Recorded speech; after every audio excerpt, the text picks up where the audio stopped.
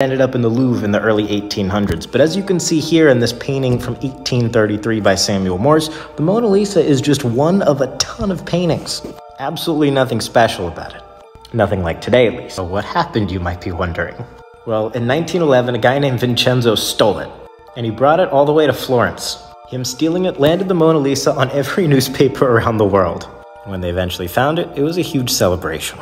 These stories are, in large part, what differentiates the Mona Lisa from a lot of other great works, including those by Da Vinci.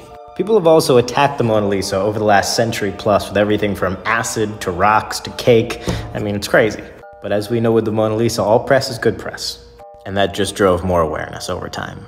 Now, there's two other questions to talk about what it's worth as a business, how many tickets does it drive annually, and is that even the real Mona Lisa being displayed publicly? Well, we're gonna have to wait for another video to talk about those, so follow for more.